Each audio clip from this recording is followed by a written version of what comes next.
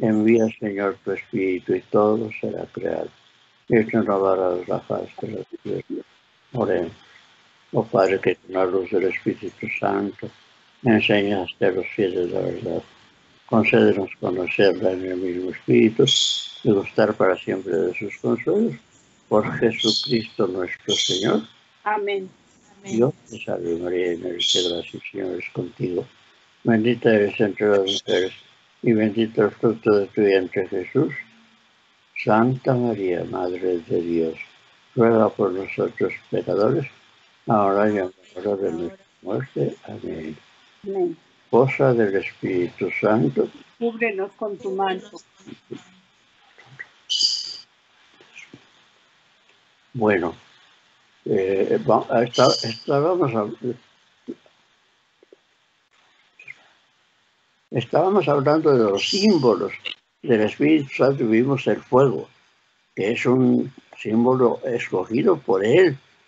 Cuando eh, bajó en Pentecostés, bajó como lenguas de fuego sobre María Santísima, los apóstoles y las otras personas que estaban allí, que eran, dice San Lucas, unas 120 personas. Eh, De manera que todos, dice, quedaron llenos del Espíritu Santo. Ahora, vamos, ahora voy a, tratar de otro, de otro mm,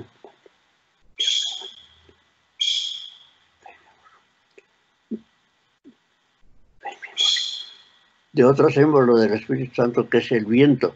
También en Pentecostés, cuando vino, se eh, manifestó como viento.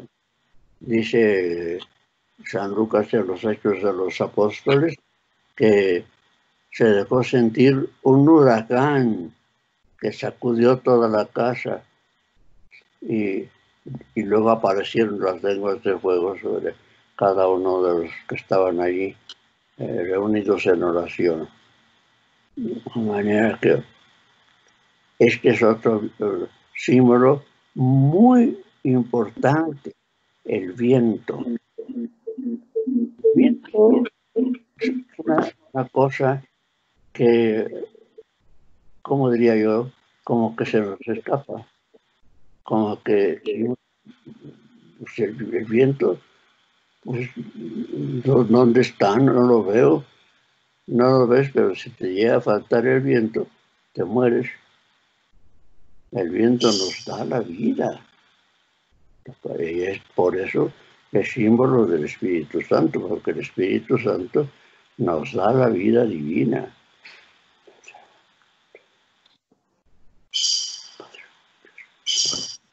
Pero además hay eh,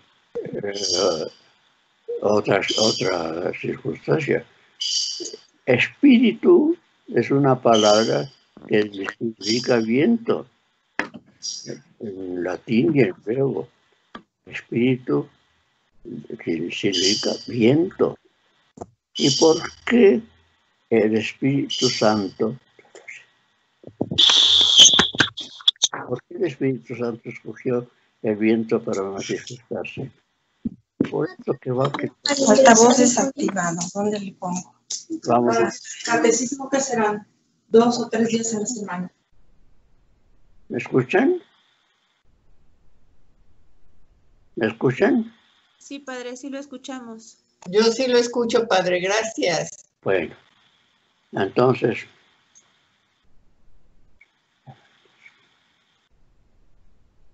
el viento, estamos diciendo, es eh, una cosa que no se palpa, no se ve, no se siente, pero sin el viento nos moriríamos. El viento nos da la vida. Eh, y así es el Espíritu Santo. El Espíritu Santo no se ve, parece que no existe, pero si no eh, est- estuviera el, el Espíritu Santo presente en la iglesia, la iglesia se acabaría. El Espíritu Santo es el que mantiene en la vida divina o en unión con Cristo a toda la iglesia. Fíjense que, eh, claro se ve esto en la práctica de la iglesia. En la devoción no, pero en la práctica de la iglesia sí, porque cuando se trata de tomar una decisión importante, de eh, hacer una cosa importante, el Papa y los obispos invocan al Espíritu Santo. No es que no invocan al Padre y al Hijo, pero eh, se dirigen concretamente al Espíritu Santo. Ahora vamos a tratar de explicar un poquito mm, cómo, cómo hay esa relación, esa semejanza del Espíritu Santo con el viento.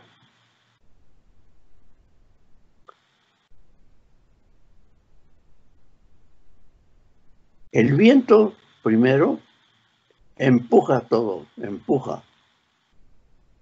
Eh, cuando es un huracán, derriba las casas eh, por, la fuerza que, que trae. Entonces el viento empuja, impulsa, empuja. Y así es el Espíritu Santo. Impulsa a la persona, la mueve hacia donde Él quiere. Eh, vamos a recordar un poquito la estructura del alma.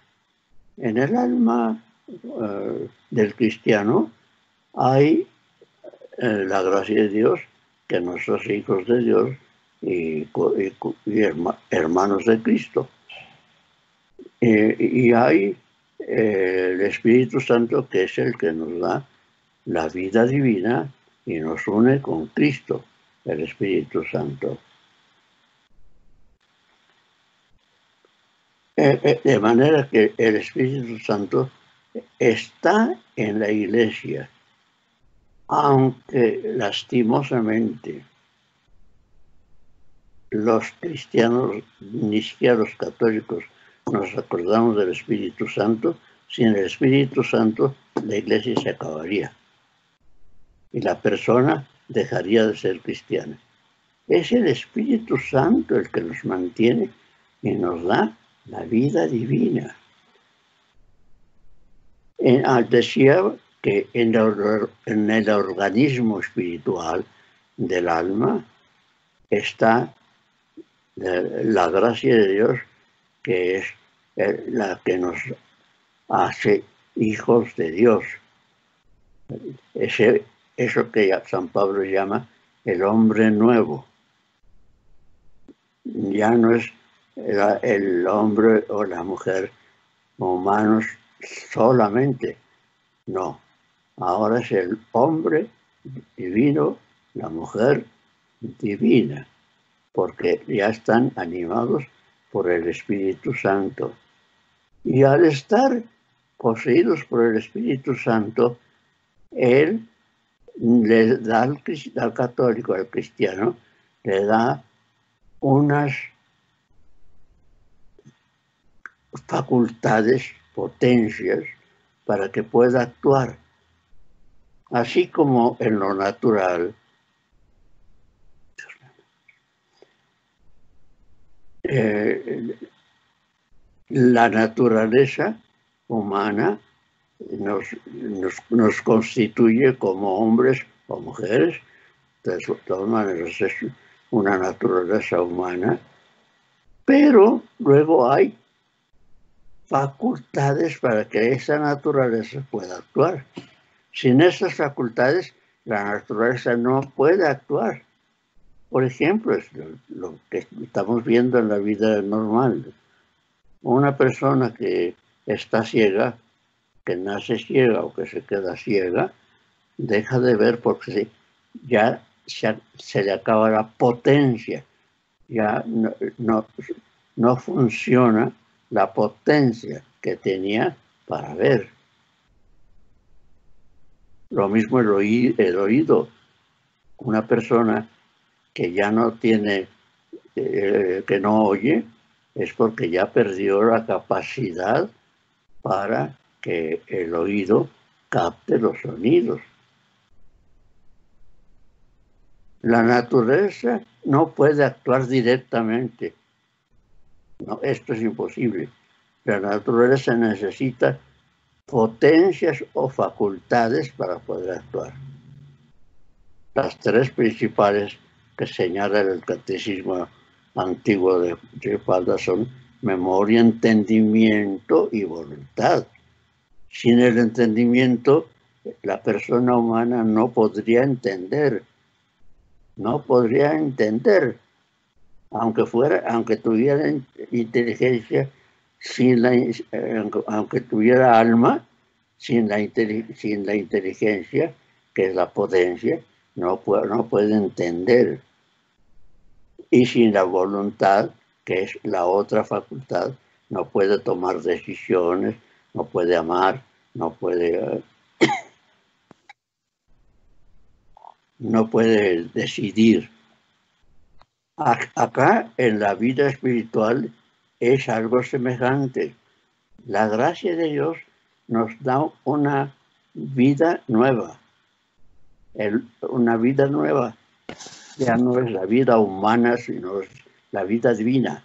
Como dijo San Pablo con su lenguaje tan, su lenguaje tan claro, ya no vivo yo, es Cristo el que vive en mí.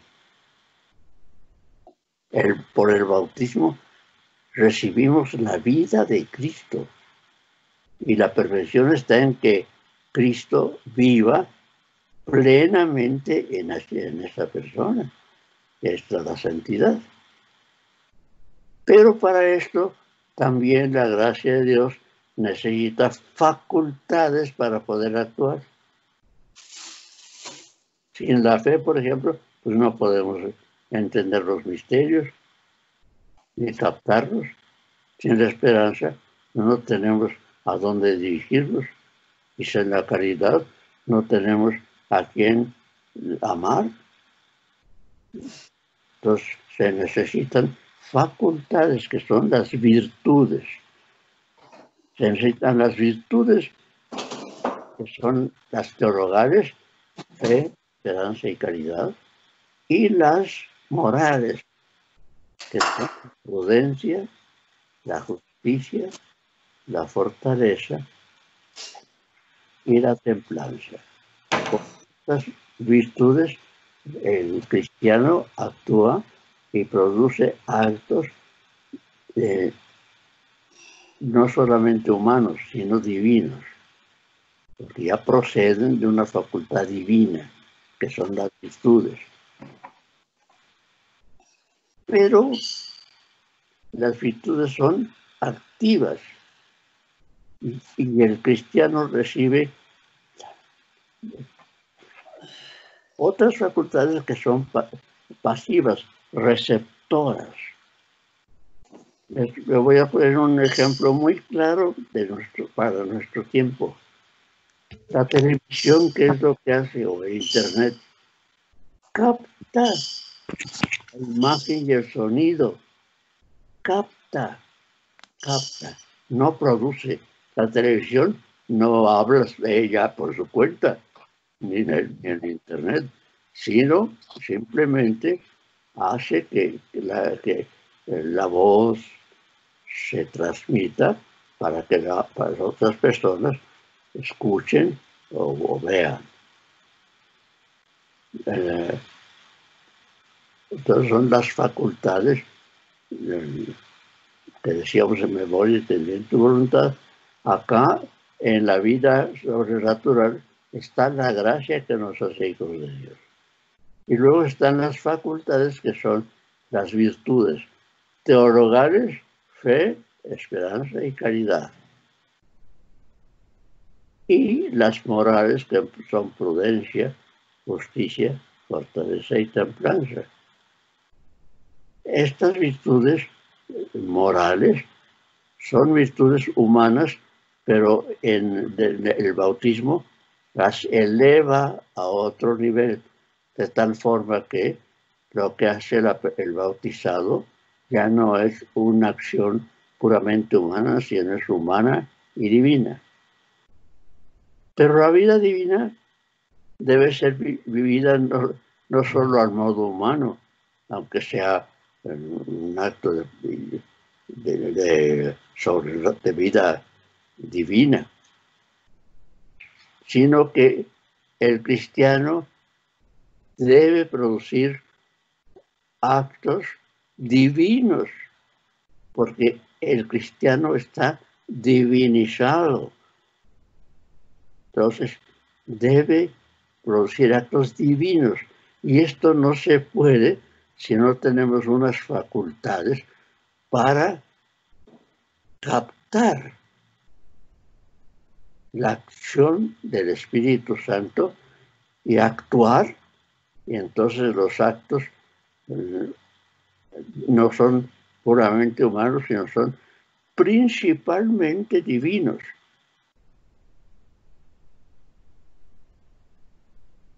Por ejemplo, eh, la vida de la iglesia, eh, ¿quién inventó la vida religiosa? Desde los ermitaños que empezaron con San Antonio Abad hasta las órdenes y congregaciones religiosas que comenzaron con San Benito. ¿Quién inventó esto? Esto no lo inventó ninguna persona humana. Y se ve tan claro porque una persona humana, por su, por su naturaleza, no se va a la soledad para estar sola con Dios, ni, ni se entrega para hacer obras buenas, santas, porque el, el hombre como hombre, como persona humana, tiene un ideal que perseguir.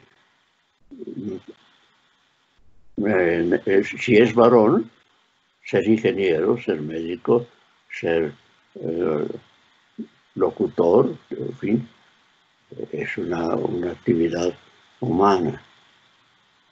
Y si, si es mujer, ser maestra, ser secretaria, ser eh, locutora.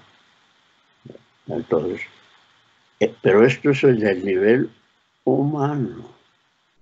Y acá se trata de que la vida divina produzca en nosotros actos divinos. Y esto no lo puede hacer el hombre solo. Porque van a ser actos que hace Dios en nosotros, pero Dios. Por eso, estas facultades que son los dones del Espíritu Santo, los dones, es una realidad tan importante.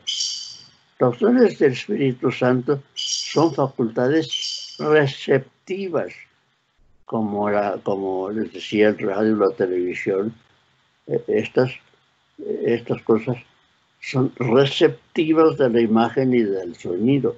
Así los dones del Espíritu Santo captan la voz del Espíritu Santo, captan el impulso del Espíritu Santo. Y entonces el acto que produce aquella persona es divino, aunque también es humano, pero es principalmente divino, porque el que la hace es eh, Dios, el Espíritu Santo, que es Dios. Es, voy a ponerles un ejemplo muy sencillo, como cuando un niño o una niña está en la escuela y están aprendiendo a escribir. La maestra les dice cómo se hace la A, la E, la I, todas las letras, y le hace que reproduzca, porque no está acostumbrado, la figura de la A, de la E, de la I, de las consonantes B, C, D, E, F, etcétera, ¿no? Entonces, tiene que aprender las, uh, a escribir las vocales y las consonantes para, eh, para, para expresar lo que pensamos y lo que hacemos. Y el niño o la niña que están en la escuela llenan planos, por ejemplo, si está empezando, empezando, la, ma- la maestra le dice, mira, vas a llenar esta plana de puras A. Y le, le escribe una A bien grande y clara. Vas a llenar toda la plana. Cuando regresa la maestra se cuenta con que el niñito o la niñita llenaron la plana, pero de puros des- desfiguros, que no, son nada.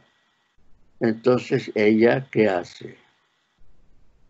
Toma la mano del niño o de la niña y dice, a ver, préstame tu manita.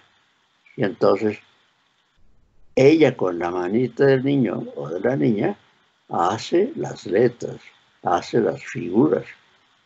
Y así el niño, movido por la maestra, hace correctamente las letras. Así es acá en la vida espiritual. Por medio de las virtudes podemos hacer muchas cosas buenas y de, de valor divino, porque son virtudes divinas. Pero para hacer obras divinas se necesita que Dios mismo las haga. El- Y este es el Espíritu Santo el que ilumina y mueve a la persona para que haga lo que Él quiere. Y entonces la acción es hecha por el Espíritu Santo en la persona humana.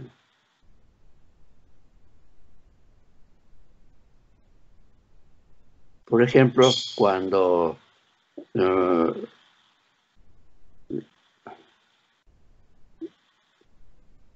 cuando una persona, por ejemplo, quiere hacer una obra buena, por ejemplo, un hospital, quiere hacer un hospital para, para pobres, entonces esta es una obra que no, es, no puede ser puramente humana, se necesita una, una capacidad divina. Y entonces, ¿quién va a hacer esta obra? La hace Dios, la hace el Espíritu Santo a través de esa persona. El Padre Pío hizo precisamente un hospital muy grande, él que pues no tenía ni, ni medio centavo porque era capuchino, pero él mm, se lanzó a hacer esta obra y los recursos vinieron y se pudo hacer ese hospital. Entonces, esa fue una obra divina, la hizo el Espíritu Santo a través del Padre Pío. Y así en, todas las cosas. Los, sacerdotes o las catequistas que están enseñando la fe, hay algunos que son verdaderamente admirables porque exponen la fe, explican la fe de una manera clara y sencilla. Pero ¿quién hace esto? Esto lo hace el Espíritu Santo a través del, del sacerdote, del predicador, de la catequista. Es el Espíritu Santo.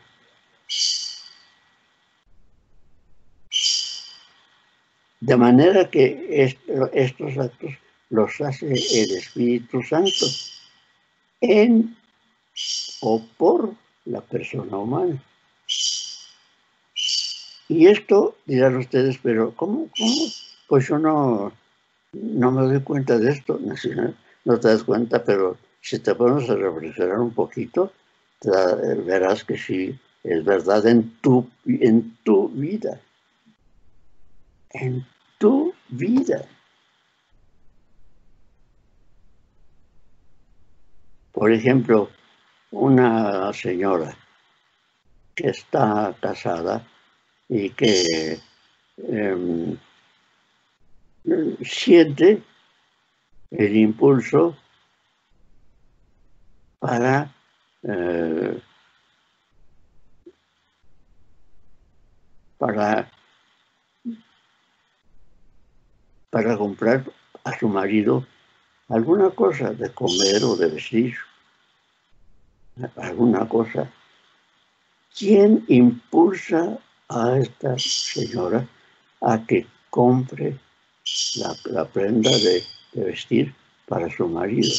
Pues es el Espíritu Santo en las cosas sencillas, ordinarias y normales de la vida.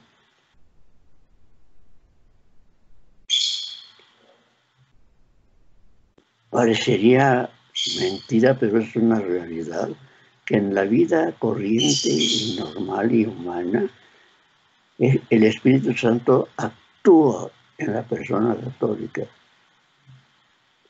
No es lo mismo que un católico haga o diga una cosa, o que un no católica, no católico haga o diga la misma cosa resultan cosas diferentes. La que obra movida por el Espíritu Santo lo hace bien y perfecto. La que no, pues hace las cosas pero como tanteando, porque no tiene más recursos que su inteligencia humana. Pero cuando el Espíritu Santo interviene, entonces la persona ve claro y siente el impulso. Miren, un caso, por ejemplo, de la vida ordinaria, ordinaria. Van ustedes por la calle y pasa por el frente de una iglesia y en ese momento sienten un impulso de entrar. Otras veces pasan y como delante de cualquier casa, de cualquier edificio, pero esa vez no. Sienten el impulso de entrar a saludar al Señor un, un momentito. Y si no lo hace uno, se siente mal. ¿Quién daba ese impulso a la persona para que entrara un momentito a la iglesia? Pues el Espíritu Santo. Eso no salió de la persona, la persona iba pensando en sus asuntos. Pasó frente de la iglesia y sintió, sintió el impulso. Alguien le sugirió que entrara a visitar al Señor. La persona no venía pensando en nada de Dios ni de la vida espiritual, pero al pasar por la iglesia sintió ese impulso de entrar. O en otros casos, por ejemplo, mm, de pronto una persona siente el impulso de ir a visitar a otra persona que está enferma. Está pensando ella en otras cosas, ocupada en sus asuntos, en sus quehaceres, pero siente el impulso de ir a ver a esa persona. Entonces va a verla y la encuentra ya grave. Y entonces se ocupa de que la, atiendan en su enfermedad y que venga un sacerdote, la confiese, le dé la Sagrada Comunión, la disponga. Nadie le dijo a esa persona.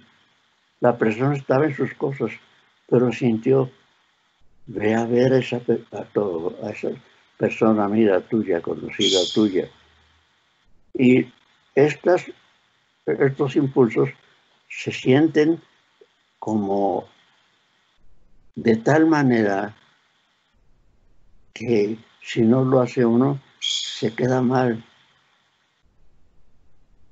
Es una cosa bien clara esto.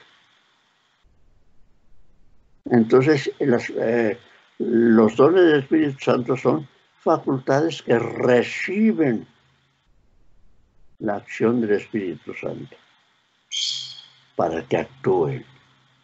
Y los actos que producen las personas movidas por el Espíritu Santo son actos divinos en la persona humana.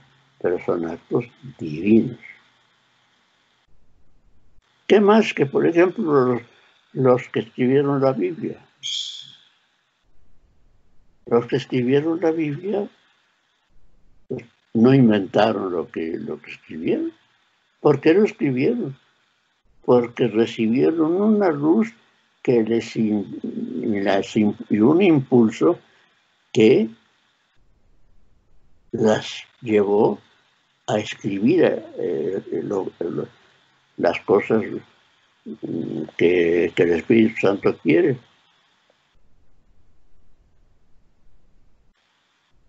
Por eso decimos, y es verdad, que la Biblia la eh, hizo el Espíritu Santo, moviendo a, los, a las personas, a los profetas, a los evangelistas, para que escribieran lo que el Espíritu Santo quería, no otra cosa. A veces nosotros quisiéramos que los profetas y los apóstoles, los evangelistas, eh, nos dijeran alguna cosa. Por ejemplo, eh, quisiéramos saber cómo eh, Jesús, María y José hacían sus comidas, cómo descansaban, cómo, pues nos gustaría mucho saberlo. Pero el Espíritu Santo nos reveló esto.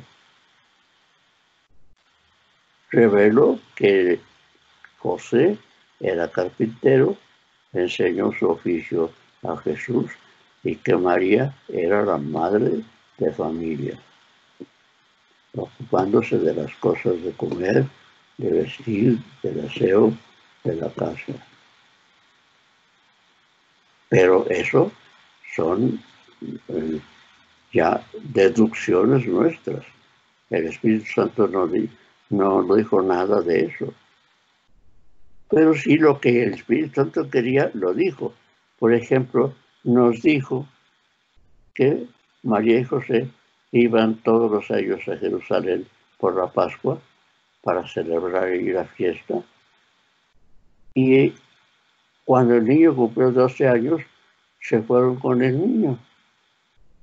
Estuvieron en la fiesta, la celebraron allí y al regresar, María pensó que Jesús venía con su padre José y José pensó que vendría con su madre María o con algún pariente. Hasta después de, de varios, varias horas o días se dieron cuenta que el niño no iba en, en el grupo que regresaba de Jerusalén y entonces se volvieron a Jerusalén a buscar al niño.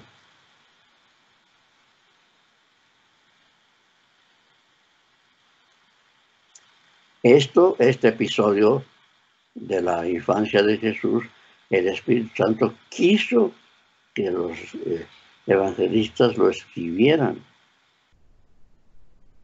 San Lucas nos transmite muchas cosas eh, de- del nacimiento de Jesús, muchas, y de su infancia.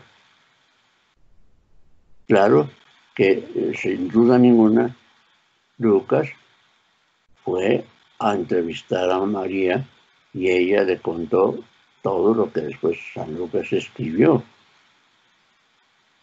Porque San Lucas era griego y quería escribir historia, no cuentos ni fantasías, sino historia. Lo que había sido, lo, que había sucedido, tal como había sucedido. Y lo que sucedió en la infancia y adolescencia de Jesús, nadie lo sabía más que María. Seguramente Lucas fue a, hablar con María y ella le contó todo lo que Lucas nos transmite de la infancia de Jesús. O Mateo, que nos cuenta también algo de la infancia de Jesús. Por ejemplo, la adoración de los magos, eso, lo cuenta Mateo nada más. La huida de Egipto, lo cuenta Mateo.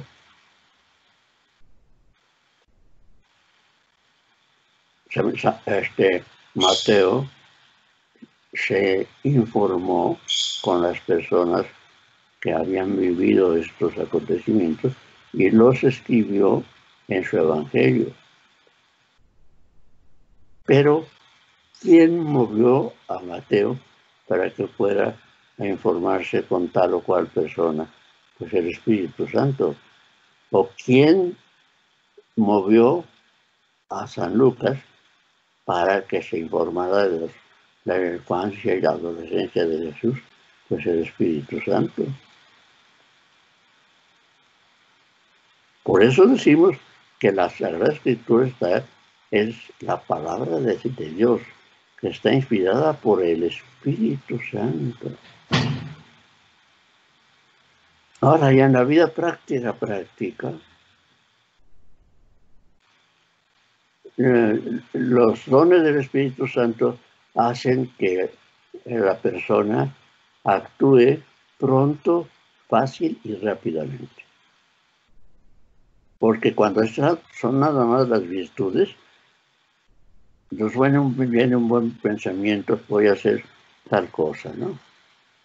Y muchísimas veces decimos, sí, sí lo voy a hacer, por ejemplo, voy a leer la vida de una, un santo, una santa.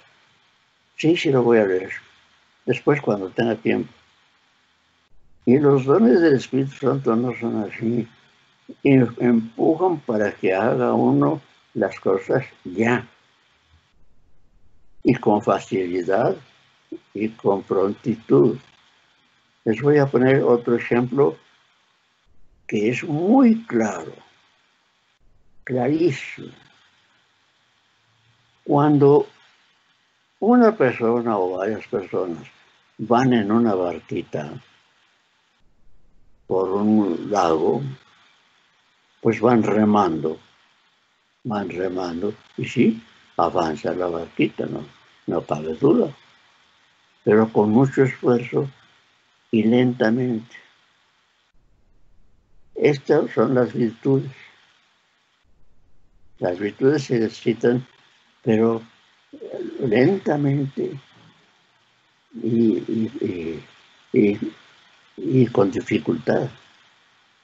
La paciencia, por ejemplo la paciencia, una, una virtud que eh, ejercitamos, pero la ejercitamos como arrastrando, como arrastrando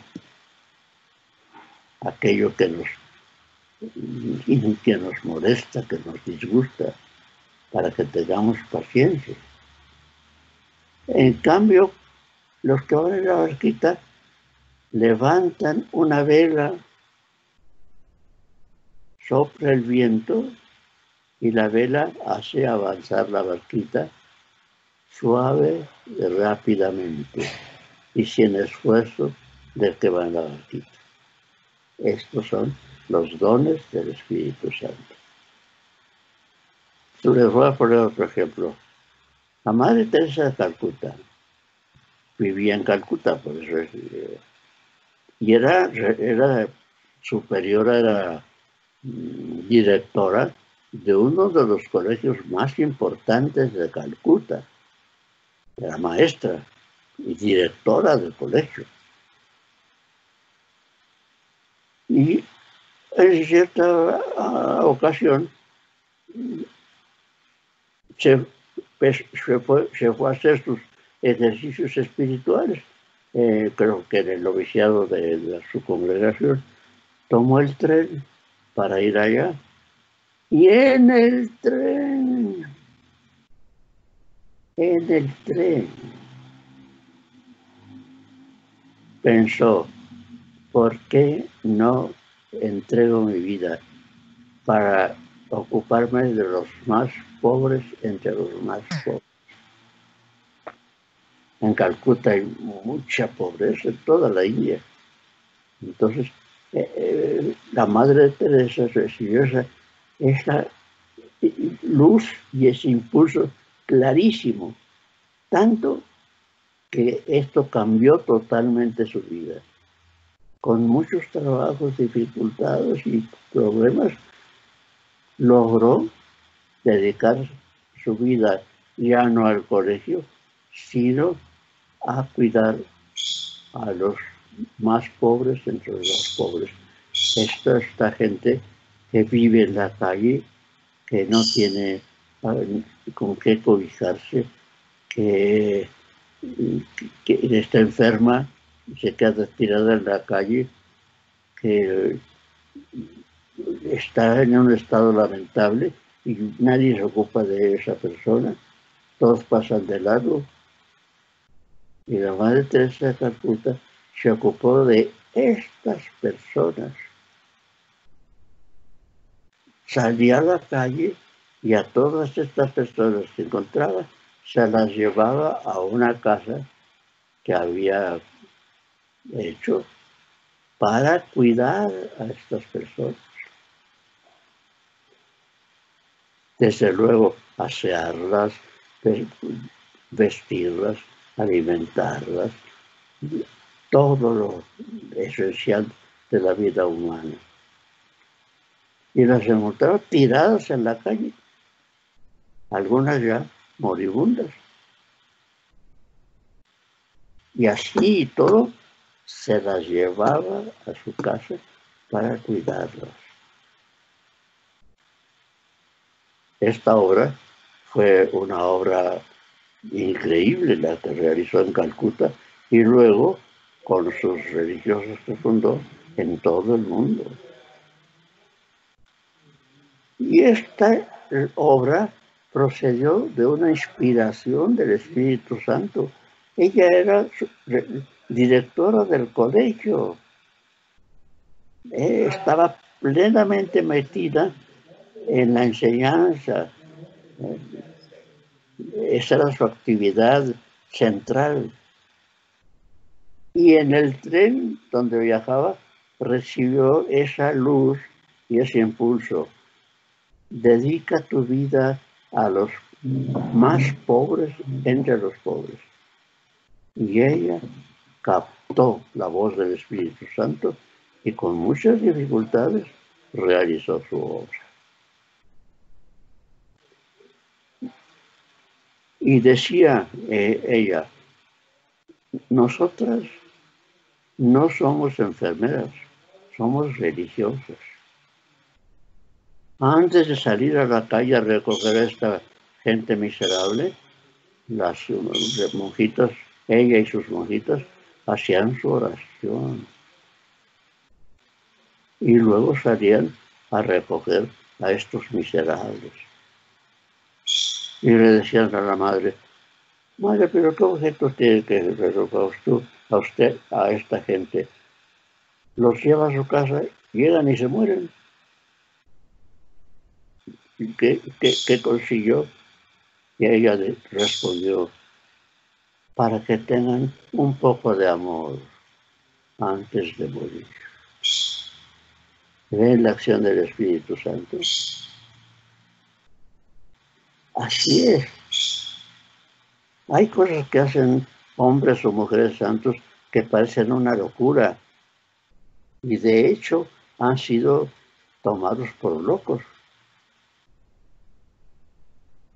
Y no es cierto es que hay una voz y un impulso que reciben, no es de ellos, ellos captan, reciben este, esta voz y este impulso para hacer una obra o hacer una acción.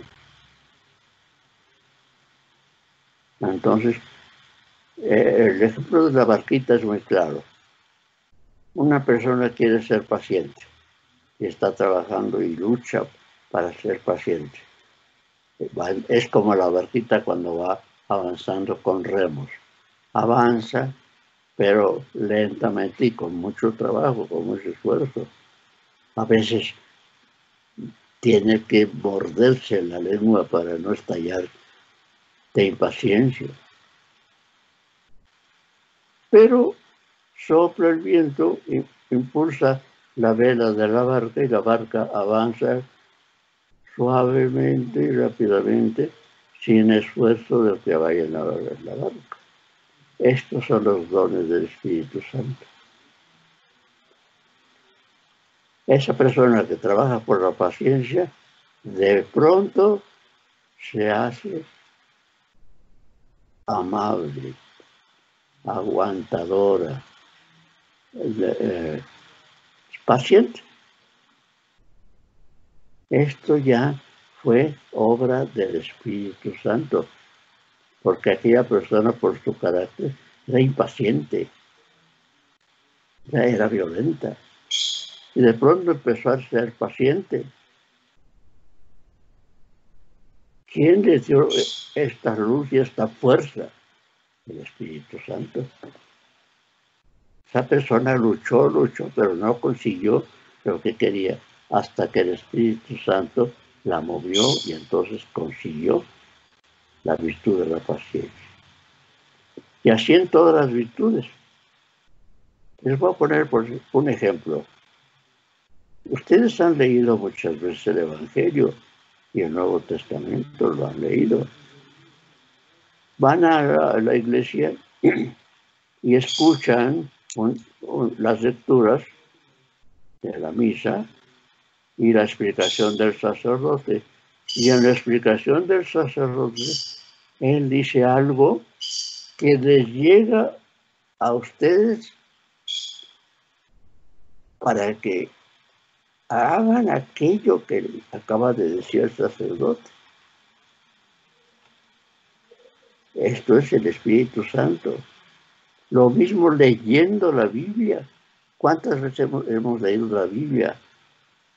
Y sí, que, que bueno, es muy bueno, es muy útil. Pero a veces leemos la Biblia y de pronto decimos, ah, sí, ya entendí. ¿Cuántas veces había leído esto? Pero ahora ya entendí. ¿Por qué entendiste?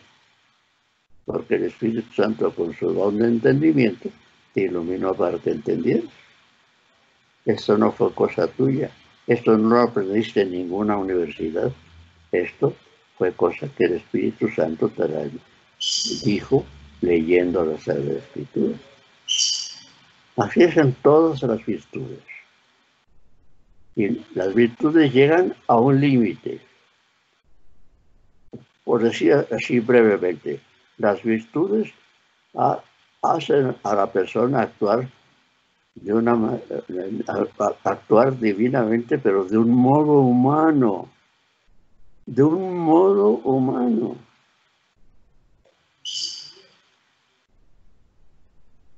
¿Cuántas veces la Madre Teresa habrá encontrado en las calles de Calcuta esta gente moribunda, esta gente eh, necesitada? Y habrá procurado darse alguna limosna, alguna ayuda, alguna palabra de consuelo. Pero no le vino la, el impulso y la idea de dedicar su vida a estas personas. Eso le vino cuando iba viajando en el tren. La luz clara y el impulso. Entrégate a cuidar a los más pobres entre los pobres.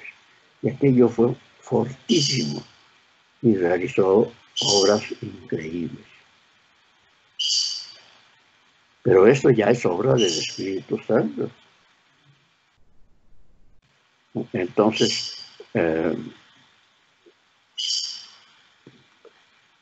las virtudes nos hacen actuar de un modo humano, aunque son actos divinos, porque son hechos en la gracia de Dios y con la, con la, con la gracia ordinaria.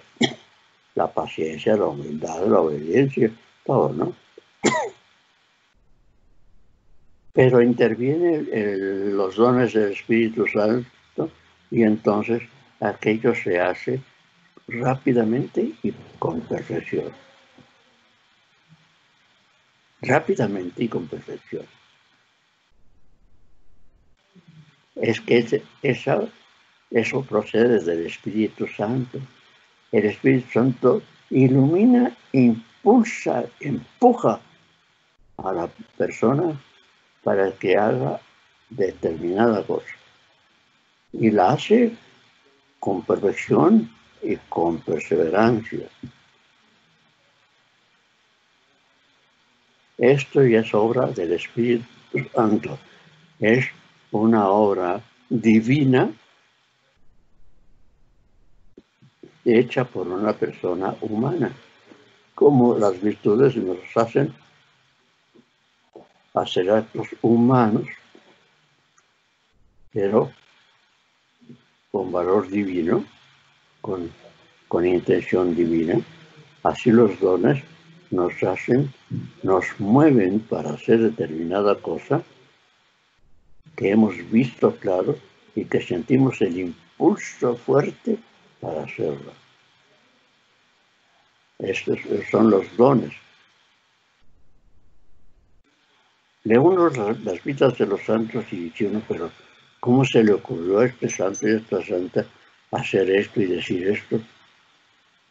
Pues porque vivían movidos por los dones del Espíritu Santo. Cuando la barquita va avanzando con remos, lo hace con esfuerzo, lentamente, y va avanzando, pero poco a poco. Cuando se levanta la vela, capte el viento, el viento, capte el viento, la vela capta el viento, entonces la barquita avanza suavemente y rápidamente sin esfuerzo de los que van dentro. Así es acá. Los actos de las virtudes son costosos, cuestan mucho trabajo y el, cristiano debe empezar por allí. No, no digamos nada más, ay, pues yo prefiero los dones. No, primero practica las virtudes y luego el Espíritu Santo te moverá por sus dones. Como acá con la barquita, primero rema y cuando empieza a soplar el viento, levantas la vela y entonces ya. Pero cuando el viento empieza a soplar, acá también tenemos que trabajar y trabajar y trabajar con esfuerzo por medio de las virtudes. La humildad, la obediencia, la paciencia, la, eh, todas las virtudes. Y una vez que ya hemos trabajado bastante en las virtudes, el Espíritu Santo actúa por medio de los dones y entonces se hacen las cosas con perfección y con, y con prontitud.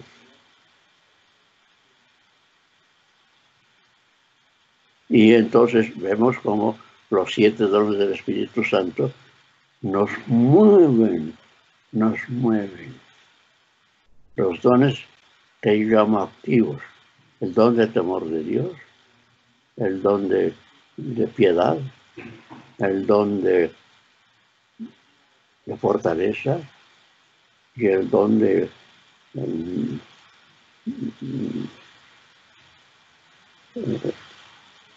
don de fortaleza y el don de consejo.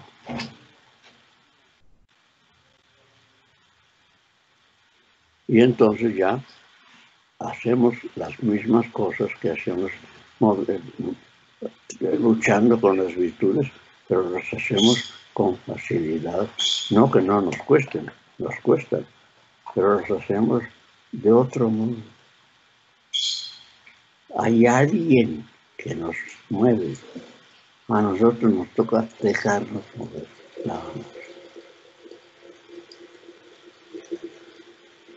Estos son los dones del Espíritu Santo.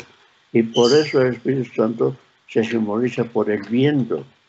Porque el viento sopla, como dice Jesús, sopla donde quiere. Y cuando el Espíritu Santo sopla, impulsa, empuja para hacer las cosas bien, buenas y bien, y rápidas.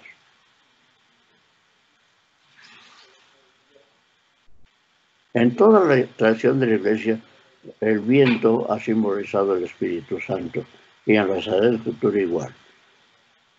Por el día de Pentecostés, el Espíritu Santo vino en, forma de huracán, un viento violentísimo, tan violento que sacudió toda la casa. Y así es el Espíritu Santo, cuando se posesiona de una persona o de un grupo, lo impulsa y con una fuerza que nadie puede resistir, incluso hasta llegar al martirio. Si no dejas de hacer esto, te vamos a matar. No importa, no importa. Yo sigo el movimiento del Espíritu Santo. Y muchas veces, sí, efectivamente, aquella persona eh, es, es, privada de la vida. Y para esto se necesita una fuerza sobrehumana. Yo muchas veces pienso, si a mí me dijeran, o reniegas de tu fe católica cura, o te, o te matamos. ¿Qué, qué haría yo? ¿Qué diría? Y me pongo a temblar, digo, ay, pues, ay. Pero si esto llegara a suceder, el Espíritu Santo me daría toda la fuerza para decir, mátame, mátame. Yo no hago eso. Y es lo que hacen los mártires. Los mártires no es cosa humana, es cosa divina, es el don de fortaleza. Entonces, ánimo, sigamos trabajando por las virtudes en, en todos los órdenes, las virtudes, para que nos preparemos a recibir después el impulso del Espíritu Santo y hagamos las obras divinas. El hombre y la mujer divinizados tienen que hacer acciones, actos divinos. Pues eh, eh, ojalá que haya quedado algo claro en esto para que mm, tengan una idea pues es- más o menos exacta de cómo es la vida espiritual, cuál es el papel de las virtudes y cuál es el papel de los dones del Espíritu Santo. No que los dones del Espíritu Santo dejen de costarnos, no, no, eso no es. Pero nos dan la fuerza y la luz para actuar como Dios quiere. Lo que pensamos, ahí no, yo hacer eso, ahí no, no. Si vienen los dones del Espíritu Santo, lo hago. Porque hay, tengo la fuerza del Espíritu Santo. Son los dones.